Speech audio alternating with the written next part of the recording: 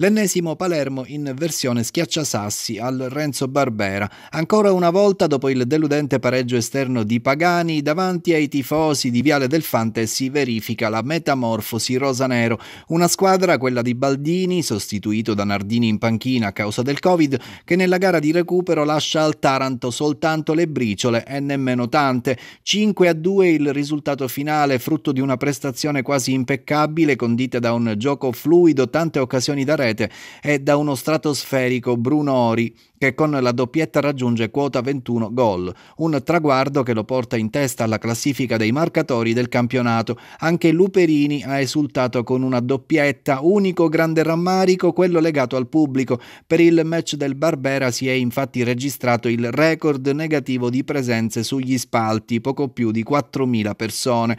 La peggiore performance dell'anno dopo quella in occasione della sfida fra Palermo e Vibonese con 4.200 biglietti venduti.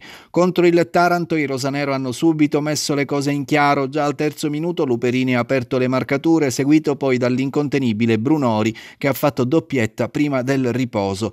3-0 all'intervallo, poi nella ripresa dopo il gol dell'ex Davide Di Gennaro, in rosanero con Gennaro Gattuso in panchina, e quello di Luperini che ha fatto bis. Allo scadere Soleri e Zullo hanno fissato lo score sul 5-2. Dal Palermo si attende adesso una pronta conferma già domenica sempre al Barbera contro il Picerno.